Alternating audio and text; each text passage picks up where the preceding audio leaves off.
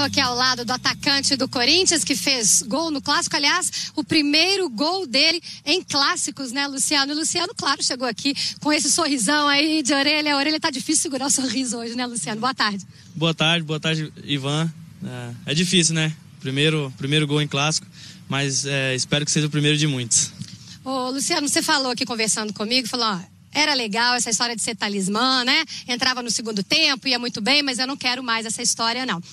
Não, não, acho que, que isso aí ficou para trás. É, deixei bem claro ontem, porque me incomodava bastante, mas espero que, que isso acabe de vez agora. Em 2014, você fez 15 gols, 9 você entrou no segundo tempo. Por que, que você acha que você rende melhor, rendia melhor quando entrava no segundo tempo? Não, acho que, que ano passado, querendo ou não, não, a gente não tinha aquela sequência, né? É, eu ficava mais no, no banco. Né? Sendo artilheiro da equipe, ficava no banco. Agora não, com o professor, se Deus quiser, eu vou, vou ganhar uma sequência e, e, vou poder fazer muitos gols com o camisa do Corinthians. Muito obrigada, Luciano. Professor que, obrigada, Luciano. Professor que disse que Luciano tem cheiro de gol, mas não precisa, Ivan, se adaptar ali àquela posição bem centralizada. Ele disse que vai dar um jeito, viu?